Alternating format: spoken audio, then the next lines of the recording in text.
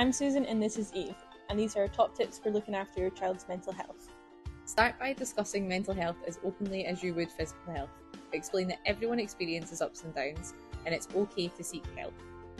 Have honest conversations about mental health, creating a safe place where your child feels comfortable sharing their feelings without judgment. Having somewhere that your child can write things down to discuss later is really important. Help your child identify adults they can talk to if they're struggling. This could be family members, teachers, or friends. Encourage your child to explore hobbies and things that they enjoy doing. These can act as coping mechanisms and reminders of what makes them feel good. Practice your own healthy habits. This could be relaxation techniques and self care to show your child the importance of looking after your own mental health.